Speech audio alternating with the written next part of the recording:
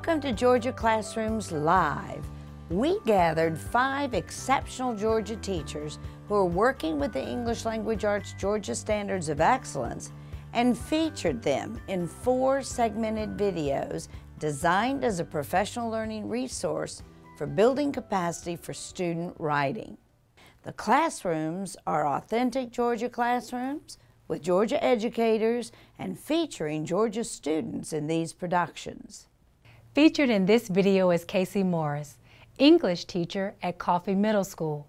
Watch as Casey demonstrates the role of evidence in writing. The objective is for teachers to see how the standards are embedded in the lessons and to seamlessly apply them to their own lessons. We encourage all teachers to watch these videos with peer teachers and coaches for the purpose of seeing the standards as master teachers apply lessons in the classroom. As you watch, look for the practical ideas, the effective instructional practices, and the blended performance-based curriculum. Pause at an appropriate place and discuss the segments in professional collaborative groups of peer-teacher colleagues, and then set expectations to embed ideas into personalized lessons that you create. We encourage you to apply the lessons and techniques in your own classrooms and come back to your PLCs to discuss outcomes, highs and lows, and adjust the instruction to meet your own classroom purpose. Remember, it is important that you deliberately design your lessons for your students using your own resources and creativity. Teaching the Georgia Standards of Excellence is like a finely tuned Swiss watch. Teaching Georgia Standards of Excellence takes teamwork and planning. As you watch the videos with the goal of implementing in your own classroom, we encourage you to be creative. Remember to be positive. Believe in your students and know that you are building the future to give our students a strong foundation.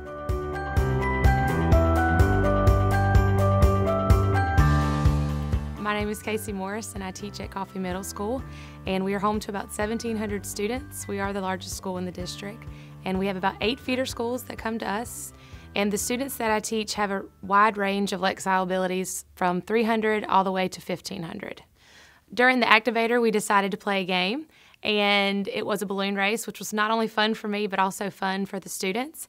And there were four balloons per group, and each group had a team captain. So I gave the team captains their balloons, and they had a passage on Herschel Walker that they had previously read. And the students were to sequence the pieces of paper that were in the balloons together. So on the count of three, they blew the balloons up and then they tied them and then they waited for a few minutes. And then we all popped them together and they rushed to put them in the correct order. And the team that finished first was to run to the board and put it on the board so we could kind of grade it together. And the students really enjoyed it. It was fun for all of us, and it was really exciting part of the lesson. I think it got them geared up and ready to learn.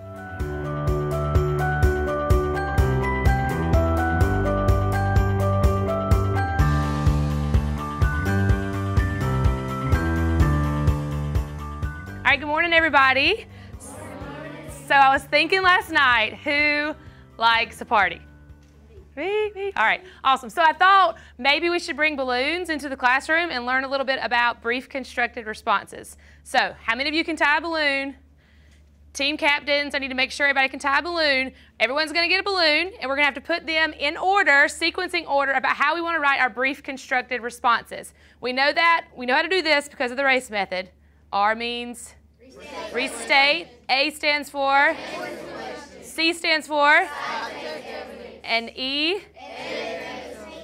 Edit and conclude. Thank you. I'm glad the twins got that for us. So edit and conclude. So each group is going to have four balloons. Everyone's responsible to number one, blow it up. Then we're going to tie it. Then we're going to wait. We're going to blow it up. What's next? Tie then we're going to, I prefer you to hold them up in the air like this, and then we'll um, get it going. Are you ready? Yes. All right, I'm going to give you your cookie sheet. Once you get your balloons, Everyone ties it. We're going to hold it up, and then we're going to wait. Then we're going to have a balloon race. Is anyone really scared of balloons popping? No? Just me? Okay, Haley is. Okay, you are. I am too, but it's okay. We're gonna make it through. And inside the balloon is a sheet of paper, and I need you guys to order them, sequence them based on the race method. Blow up your balloon, tie it, and wait. Wait. Awesome. So when you finish, team captains, you're gonna put them in order.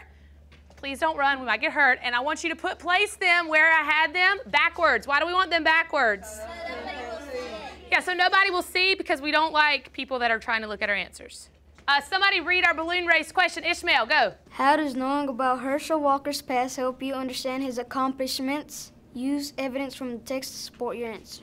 So your, your question is, how does knowing about Herschel Walker's past help you understand his accomplishments? So we know that question one needs to do what?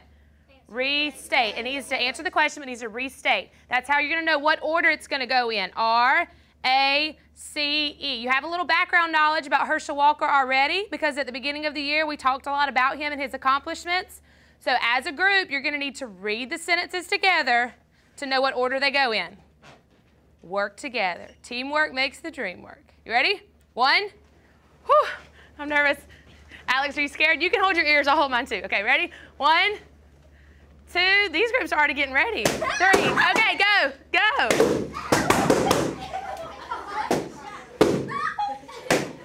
Jacob's having issues. Read them. Read your strips. Find them. Read them. Team three, turn theirs in first. Okay, so the very first thing we're going to need to do is what?